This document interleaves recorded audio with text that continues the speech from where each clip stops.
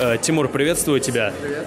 Э, Давай поговорим по поводу все-таки твоего последнего боя, да, против Лендруша. Понятно, что прошло уже время, неделя даже, ну, чуть меньше. И что можешь сказать по поводу этого поединка? Пересматривал ли ты его вообще? Я его несколько раз пересматривал, раз 15-20, наверное.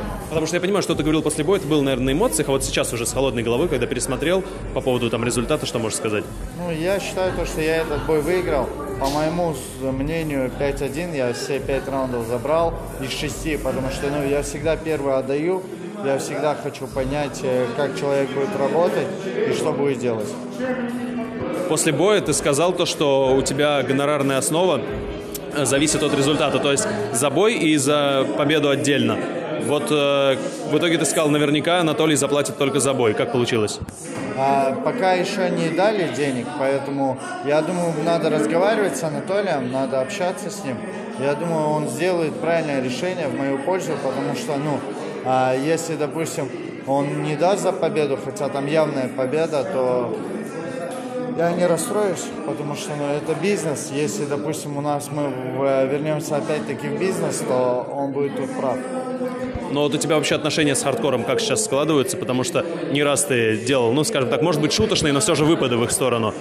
Ну, знаете, немного у нас такие подвешенные отношения, потому что они постоянно на меня газуют, я на них газую. Ну, как можно сказать своему чемпиону, типа, чтоб ты проиграл, мы тебя засудим, там, и так далее. Но я шоу, и мы здесь для того, чтобы зарабатывать.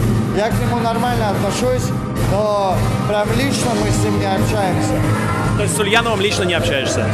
Нет, ну у нас э, есть понимаешь, а, вот он может подойти и сказать, как он ко мне подходил, типа, билеты на Лендруша мало берут. Я говорю, ну а что мне с ним еще делать? Я говорю, я уже не знаю, как качать. Я говорю, по грязи я не пойду, потому что Лендруш как-никак был моим другом. И все.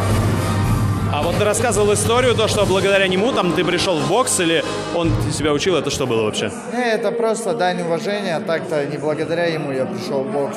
Он- Он тренировал или что? Он, он- мы были раньше с ним в одной команде, но видите, когда мы были в одной команде, он там старый спарринг 2021 года выставлялся и радовался этому, то что вот я отключил и так далее. Любой боксер и нормальный человек вам скажет, то, что спарринги это ничего не решает, это а, обычно плохой день на работе. Вот учитывая, как ты провел свой последний поединок, э, есть ли, ну, грубо говоря, сомнение, что бой с Магомедом Исмаиловым состоится, что, может быть, хардкор, э, ну, не то, что даст заднюю, наверное, это неправильно будет сказано, да, вот то, что э, скажут, что ничья, и, может быть, этот бой сейчас не настолько интересен им будет. Вот ты как на это смотришь? Я думаю, э, хардкор не даст заднюю. а, И я думаю, этот бой по-прежнему интересен, потому что все видели, я выиграл этот бой. И единственное, что это Олимпет выиграл в этом бою. Очень большие деньги.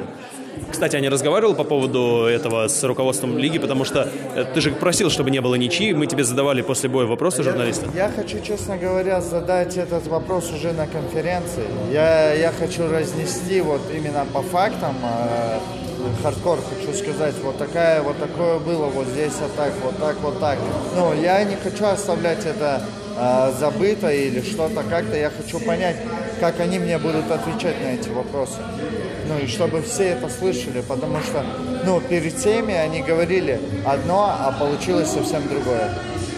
Вот ты сказал то, что хочешь э, поставить хардкор там, да, на место. Ну, то есть э, газануть на них. Если мы рассматриваем вариант боя с Магомедом Исмаиловым, ты рассматриваешь вариант, что это может состояться вне хардкора? Да, конечно. Какая разница, где с ним драться?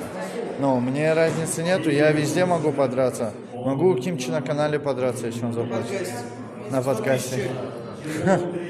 Ну, то есть вообще не принципиально. Нет, нету принципиальности. И последний вопрос. Э, С кем хотел бы, может быть, кроме Магомеда Исмаилова, вот разделить ринг? Артем Резников, Эдуард Вартанян. Ну, это звезды СНГ, поэтому я думаю, то, что с ними А возвращение на кулачку твое реально вообще в ближайшем будущем? 20 лямов, конечно.